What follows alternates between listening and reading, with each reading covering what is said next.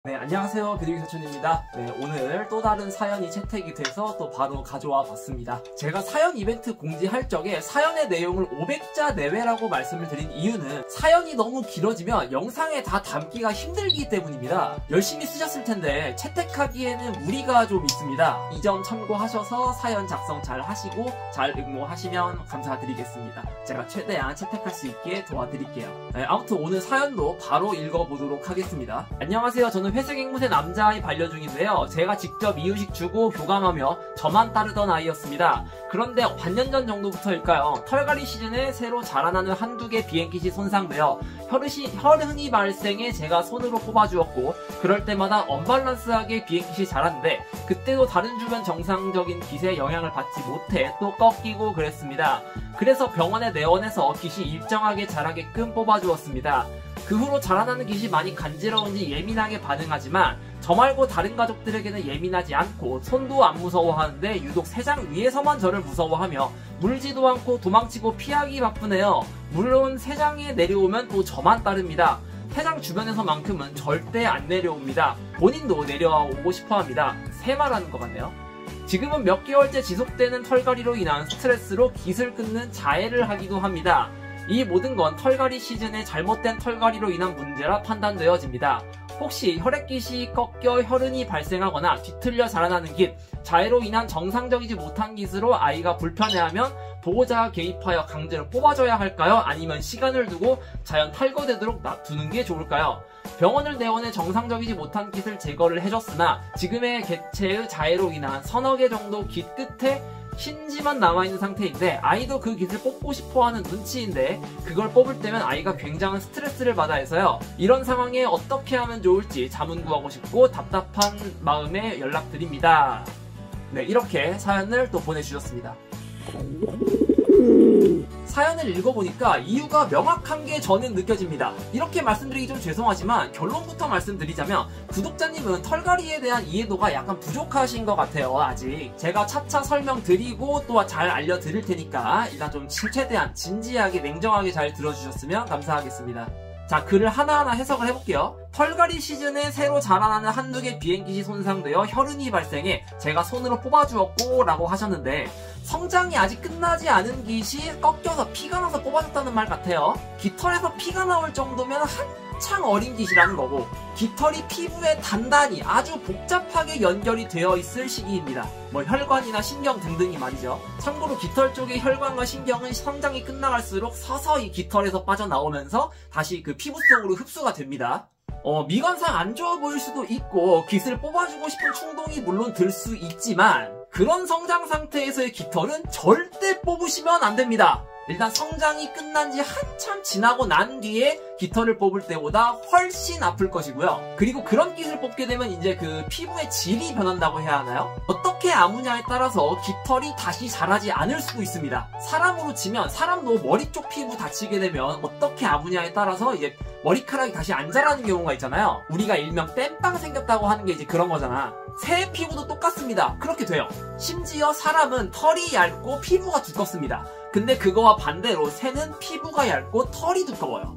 그쵸? 그리고 털이 생성되는 원리가 포유류하고 또 달라요. 더 복잡하고요. 그렇기 때문에 어린 깃털은 절대 뽑으시는 게 아닙니다, 원래. 만약 꺾여서 피가 났다면 그냥 그 피난 부분만 조심히 지혈해주세요. 기억해놓고 있다가 나중에 뽑아주셔도 늦을 건 없습니다, 사실. 언밸런스하게 비행깃이 자랐는데 그때도 다른 주변 정상적인 깃에 영향을 받지 못해 또 꺾이고 그랬습니다. 그래서 내원에서 네, 깃이 일정하게 자라게끔 뽑아주었, 뽑아주었습니다. 라고 하셨는데 털갈이는요 원래 군데군데 빠지고 군데군데 자라납니다.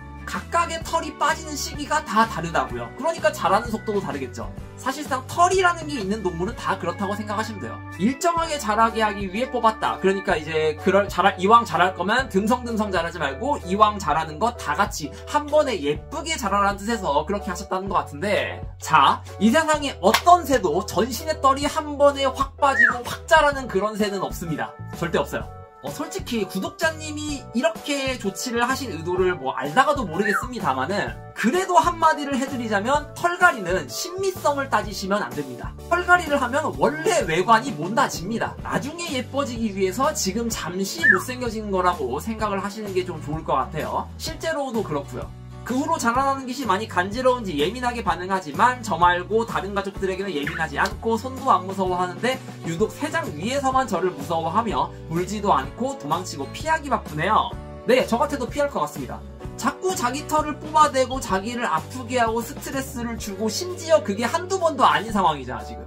주인이고 뭐고 내가 살고 봐야겠다 하지 않을까 싶습니다. 일종의 트라우마가 생긴 거죠. 지금은 몇 개월째 지속되는 털갈이로 인한 스트레스로 깃을 끊는 자해를 하기도 합니다. 라고 하셨어요. 자해를 할 만합니다. 내가 지금 이런 일을 당하고 이런 고통을 받는 이유가 지금 이 털 때문이라고 생각을 할 것 같아요. 그래서 또 잡혀다가 또 털을 뽑히고 그런 고통을 당할 바에는 차라리 내가 그냥 직접 털을 없애고 말지 라는 생각을 했을 것 같고 그래서 그렇게 자해를 시작하고 계속하게 되는 것 같아요. 이 모든 건 털갈이 시즌의 잘못된 털갈이로 인한 문제라 판단되어집니다. 아니요 절대 그렇지 않습니다. 털갈이는 절대 죄가 없어요. 지금 이 상황뿐만 아니라 그냥 모든 털갈이라는 것 자체가 털은 새의 몸에서 일어나는 아주 자연스러운 현상입니다. 새에 따라서 털갈이가 유독 지저분해 보일 수도 있고 비교적 규칙적인 느낌으로 털갈이를 하는 것처럼 보일 수도 있어요. 근데 이건 개체마다 다 다른 거란 말이에요.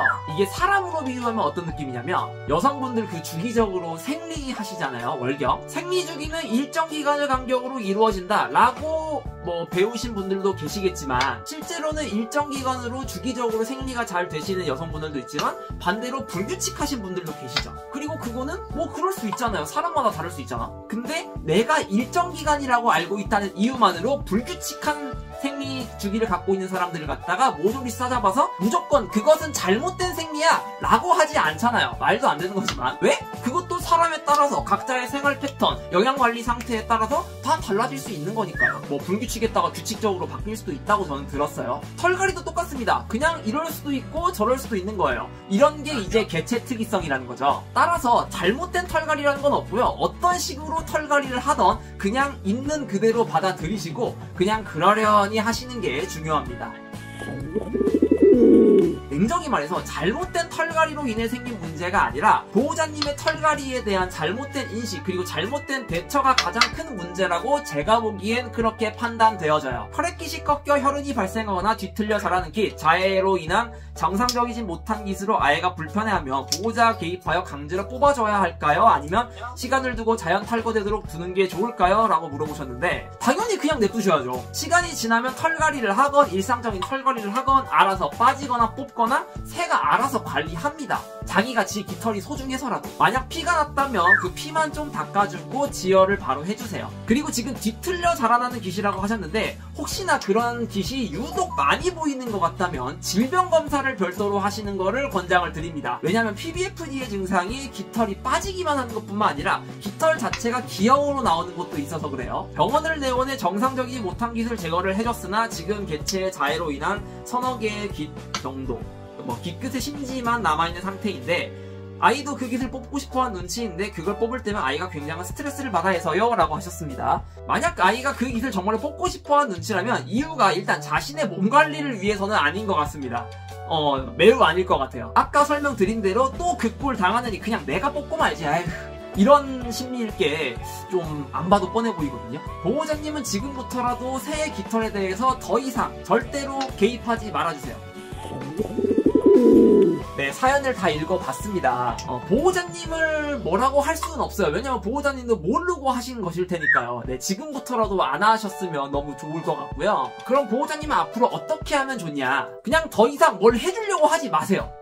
특히 털에 대한 개입은 절대적으로 멈추셔야 합니다. 그리고 앵무새와의 관계 회복이 특히 중요해 보입니다. 아이를 꺼내게 될 경우 자꾸 만져주려고 하지 마시고 그냥 같이 있어만 주셨으면 좋겠어요. 횃대에 올려놓든 뭐 방 안에 같이 있던 뭐 가능하면 어깨에 올려놓든 뭐 그런 식으로 그리고 이유불문 세장 위로 올라가게 하지 마세요. 세장하고 좀 떨어진 다른 횃대에 놓아두시거나 아니면 세장이 보이지 않는 곳에서 같이 있어주는 것을 추천드립니다. 그리고 털을 뽑아도 그냥 무시해 주셔야 돼요. 거슬려도 참으셔야 됩니다. 그리고 털이 재생이 돼야 될 테니까 영양분 많이 챙겨주세요. 과일이나 단백질 이런 것 좀 많이 챙겨주시고요. 영양분 잘 챙겨드려야 하니까 사연을 보내주신 우리 구독자님께는 프시타쿠스 하이프로틴 800g 펠렛을 네, 선물로 보내드리도록 하겠습니다. 네, 앵무새 잘 챙겨 먹여주세요. 뭐 펠렛 아니어도 여러 가지 많이 챙겨주시고요.